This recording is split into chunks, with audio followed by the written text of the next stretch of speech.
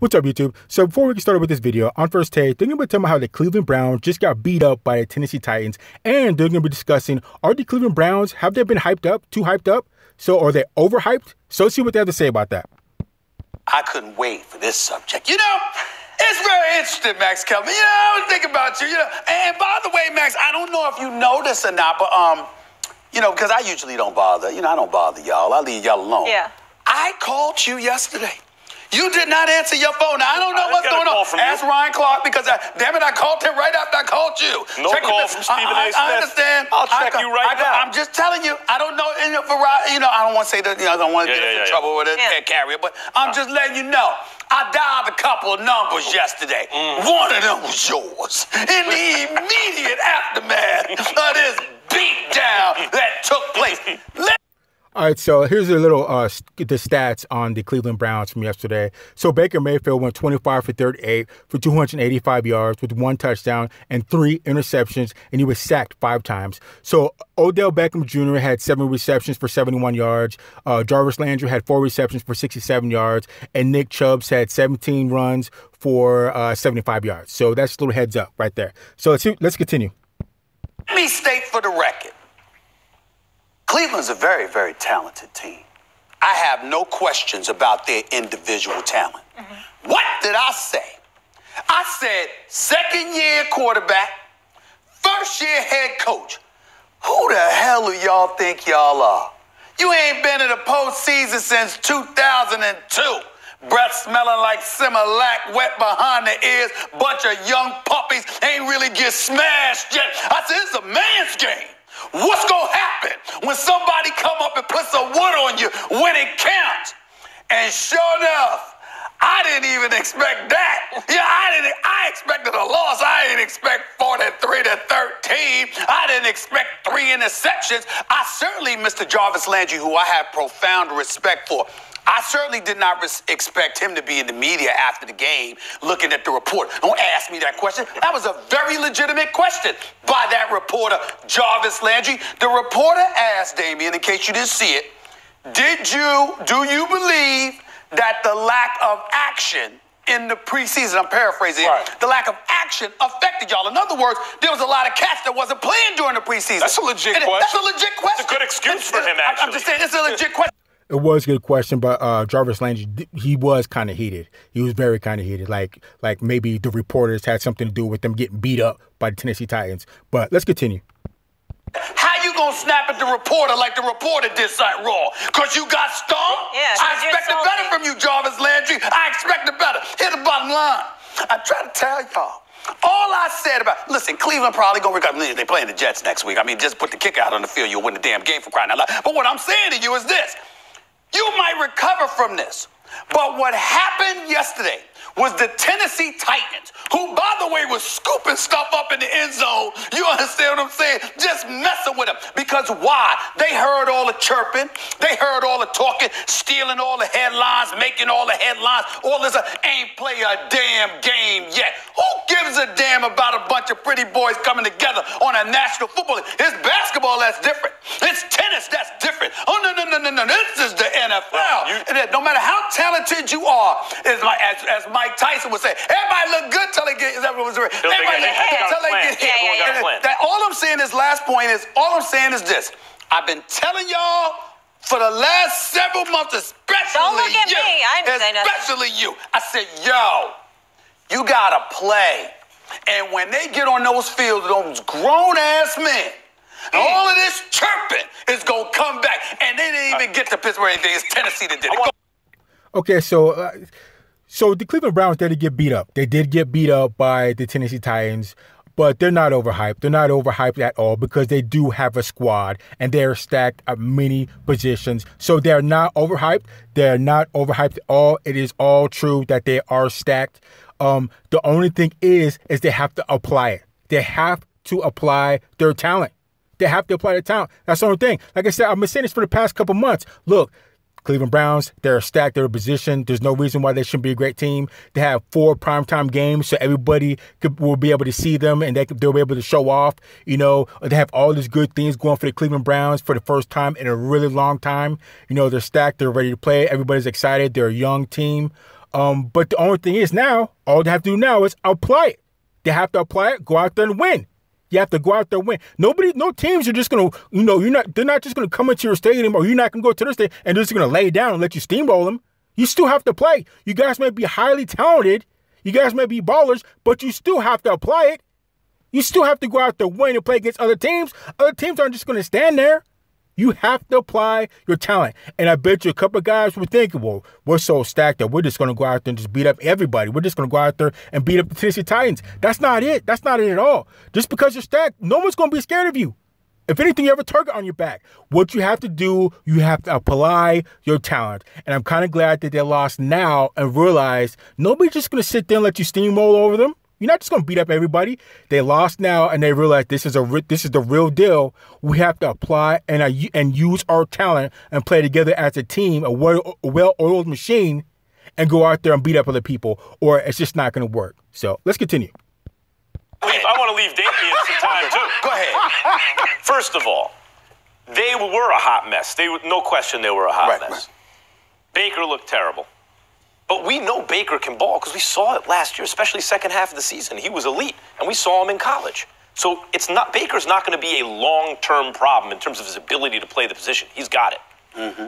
The team was totally undisciplined. Mm-hmm. The defense, which was supposed to be top 10, mm-hmm. looked anything but. And there are legitimate questions about Kitchens as a head coach. But let's not forget, he was the offensive coordinator last year. So the offense, I believe, will come together. The question is now do I change my outlook for this team, for the Browns? I thought they would go to the playoffs. I thought that would have been a wash. In order to say they had a successful season, they had to win a playoff game. If they missed the playoffs, unsuccessful season. I figured they'd win 10 games. I'm actually not going to change my projection. I thought they'd win at home against Tennessee. They got stopped by Tennessee at home. But you know what? I thought there was a chance they would start off slowly. New coach, new pieces, the whole thing. Mm-hmm. And yes, they they lost a game they should have won.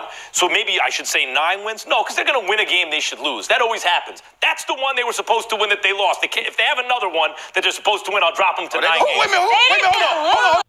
So I kind of agree with Max. I'm not going to give up on the Cleveland Browns yet. Like I said, they're a young team. They're they're stacked. They're, they still need time to gel with each other and get each other's timing down. I'm not going to give them, give up on them yet, just because that one bad loss, even though it's the first game.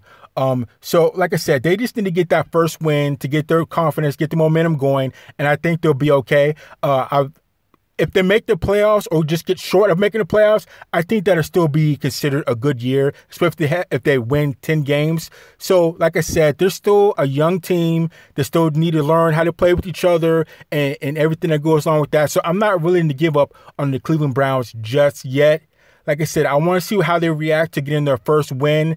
That should get the ball rolling. And this loss right here should show them and let them know early that just because we're a stacked team doesn't mean you're just going to automatically go out there and win. You still have to apply your talent. We still have to work together as a well oiled machine in order to go out there and beat up on people then everybody will start to see that we're a team and we can start the ball rolling and to, you know, being a, a good quality Super Bowl caliber type team.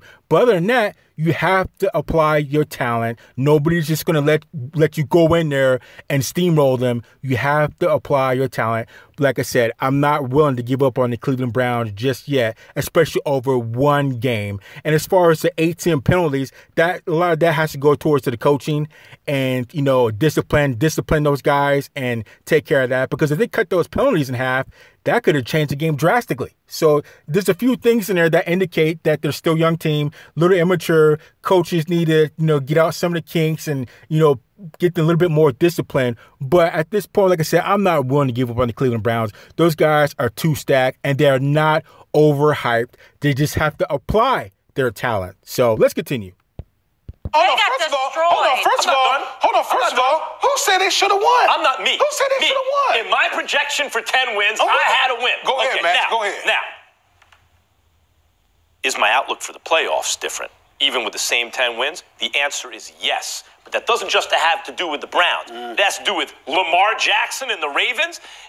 Your Steelers, by the way, the same boat as the Browns right now. Same boat. Oh, they lost to New England. They, they still lost to Tennessee. crushed. They're Stop 0 it. 1 just Stop like the it. Browns. And Andy Dalton looked really good. I got to give it to him. I was shocked. But the Ravens are the real reason for concern in that division right I now, agree. not the Browns' I week agree. one performance. I agree. Go ahead. Listen, I said on this show with all of you guys here, okay, all of you guys here talking about, especially you, Max, boasting up and, and just putting the Cleveland Browns on, on this high pedestal. Talk all, when you've been talking all this noise and you've been getting all this all this media attention that the Browns have gotten in the offseason, guess what? Everyone around the National Football League hears that. You're now going from a hunter to now being the hunted. Yesterday was proof of that. You heard Delanie Walker, what he was talking about. They are who they thought we they were. And they're going to get that for the next 15 weeks. Regardless, listen, I played in two Super Bowls. And I can tell you right now, the year after Super Bowl was the hardest year ever. You know why? Because you're playing, you're getting everybody's Got a A target on your game. back. You're getting everybody's A game week in and week out. This is not going to stop just with Well- the Tennessee Titans. This is So I, I definitely agree with Damien Woody there that they're definitely going to see receive the A game from all the teams that they play. But again, they weren't overhyped. All the hype that they got is well warranted because they're they are a stacked team and they should be doing very well. They should be. Sure, they lost the first game, but that doesn't mean that they were overhyped because they, they are a stacked team. They have a lot of great players that can really make a difference. The only thing is now the last thing to do is apply it. They have to work together as a team, as a well-oiled machine to take care of business. So as far as them overhyped, overhyped, they haven't been overhyped, and now they know that just because you're a stacked team and you should be good and you're good on paper doesn't mean that you're just going to go beat up everybody. You have to apply on the field and you better be ready for every single weekend because those guys are going to be some headhunters and to show that you guys are the team that you should be uh, and the team that you are on paper. So I don't know. I, I'm not willing to give up on the Cleveland Browns. They haven't. They're not overhyped. They just need to apply it. So let's continue. Going to happen every week with any opponent that comes up. I want to challenge you on that. What Go you ahead. just said. Go ahead. where you, I believe, you're doing yourself and your Super Bowl champions a disservice. It's not just that they're a target and they got a bullseye on their back. They wanted you because y'all were the champions. Y'all were great, and you go after the you you hunt the champion. Right, yeah, right. In Cleveland's case, you got a whole bunch of cats in the league that very firmly believe that's not deserved. Y'all don't deserve this hype y'all getting. Who the hell are y'all? Well, let's let's be real here, uh, Stephen. Smith. Let's be real. Everybody that plays in NFL, anybody that watches football knows that the Cleveland Browns are stacked. Okay, they have a good team, and they know everybody knows that it is warranted for the Cleveland Browns to see that type of hype. Now, should should they be saying they're automatically going to go to the Super Bowl? No. Uh, Should they be saying that they're automatically going to go to the playoffs and just smash everybody and they're going to go undefeated? No, they shouldn't be saying that. But they are a stacked team. They do have a lot of great players. So as far as that, they're not overhyped like I said, as far as I'm going to the Super Bowl automatic and all that, you know, you can leave that out. But they're not. They haven't been overhyped at all, and they do. They do deserve a certain amount of hype for what they have, which is a very stacked team, which is the same thing with the Dallas Cowboys. But they won. So let's continue.